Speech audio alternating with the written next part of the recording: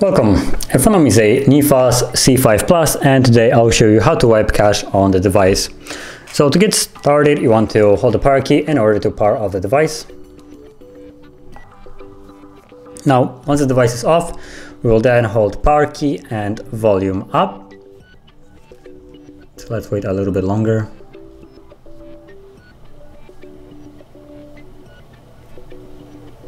Okay, so hold power key and volume up.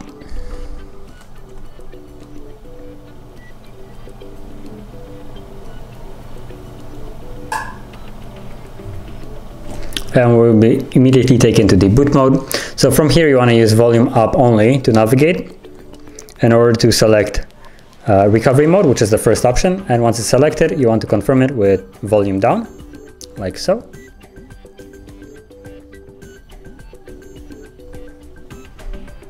Oh.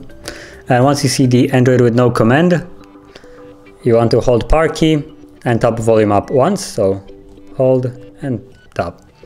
And we're now in the recovery mode. So from here, we'll use both of the volume keys to navigate, volume down to go down and up to go up. And power key will be used to confirm whatever it's selected.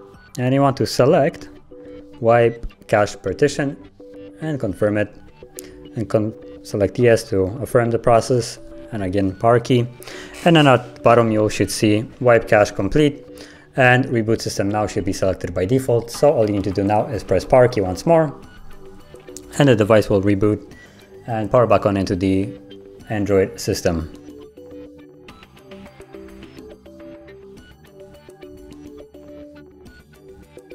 And you can see that we're now in the Android. So that is how you perform the cache wipe. And if you found this very helpful, don't forget to hit like, subscribe, and thanks for watching.